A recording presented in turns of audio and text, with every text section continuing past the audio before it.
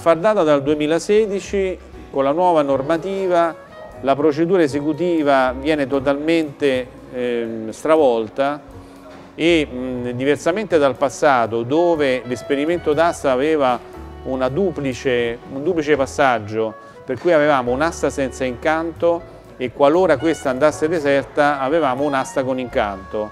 Attualmente questi due passaggi logici sono stati assommati in un unico passaggio logico, quindi si avrà un'asta che sarà sempre senza incanto e a fronte dell'aggiudicazione avremo un'aggiudicazione definitiva.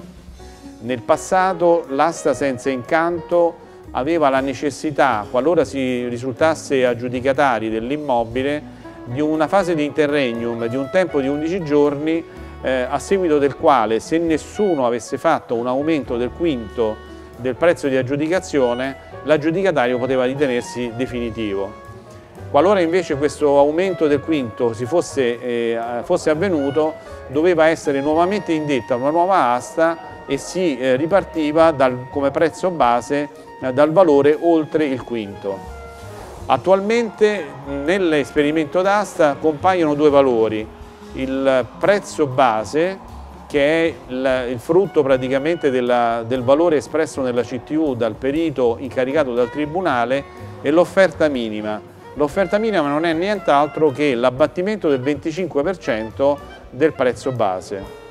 Quindi si cumulano in un solo esperimento d'asta quelli che prima erano due esperimenti, con incanto e senza incanto. Quali sono i passaggi logici che ci consentono di acquistare un immobile all'asta? Individuato l'immobile, vado fisicamente sul posto e mi rendo conto se il contesto di zona è a me gradito. Fatto questo, chiedo se l'immobile abbia un'anamnesi, diciamo, eh, relativamente alla propria costituzione in tribunale che mi consenta di fare un, un acquisto garantito.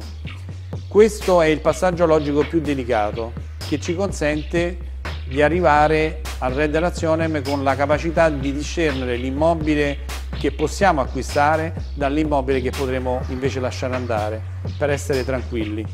Nella realtà, una volta visto l'immobile all'interno e scelto quell'immobile, procura notarile, partecipazione all'esperimento d'asta con la formulazione dell'offerta e con l'emissione di un assegno circolare bancario Immediatamente dopo l'aggiudicazione il decreto di trasferimento, consegna delle chiavi e presa di possesso dell'immobile.